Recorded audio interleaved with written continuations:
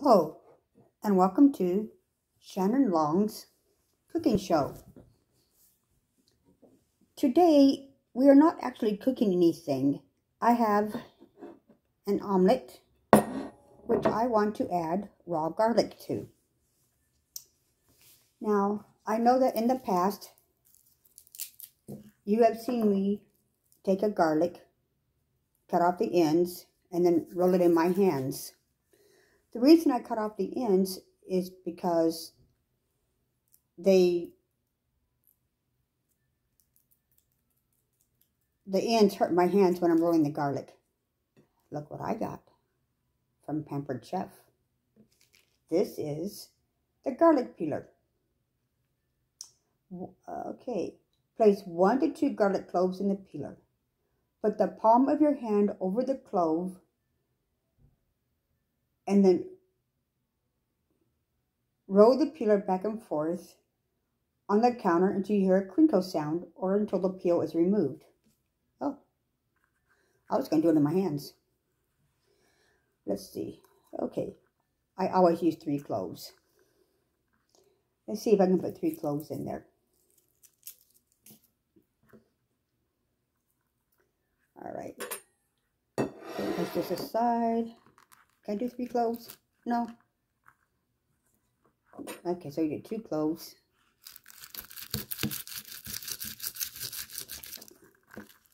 Actually, one clove is one clove is the easiest, just like you do in your hands. So what this will do, can I do my hands? Yes, I can do it in my hands. Hey, look at that. The skin is falling off. Okay, that aside.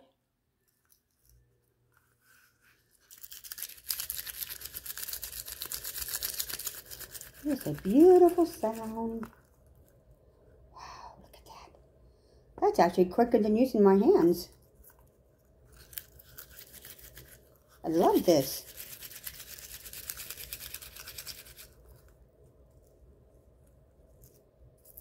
Get that one.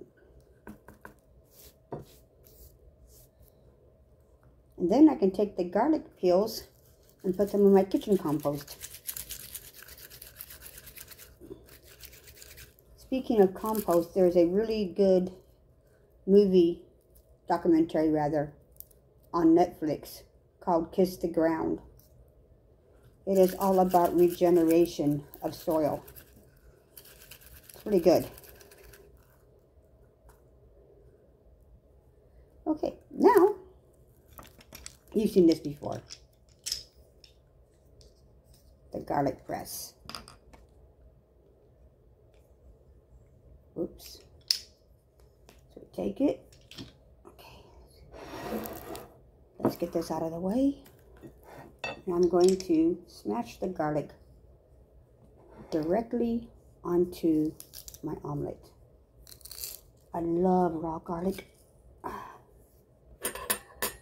Use a handy dandy scraper thing here.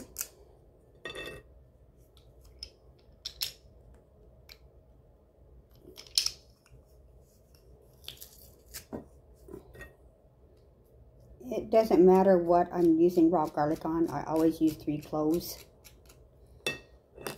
I really don't know why. It just seems to be the magic number, I guess, for cloves.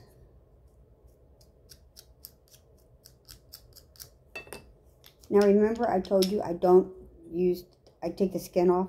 This is why. Because then I can take this scrape it around inside and get more garlic. If I'd been using the skin, I would not be able to get this. Although I suppose if you don't mind the skin mixed up in your garlic, that's a different story.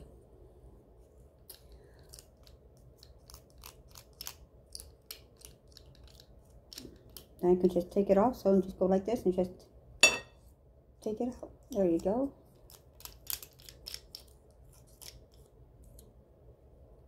And we'll just go and put this aside. I'll get to that after I eat. And there it is, fresh garlic. Okay, well, thank you for watching. Please like, subscribe, and comment. Also, please, if you are on my VIP group, comment there also. Okay, let's see. Oh, let's see how this tastes. Let me see here.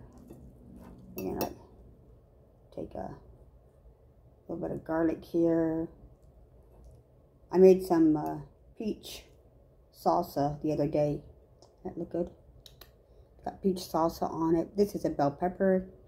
I got peach salsa and cheese and garlic. Mmm. Mmm, mmm. Mmm. Mmm. Mmm.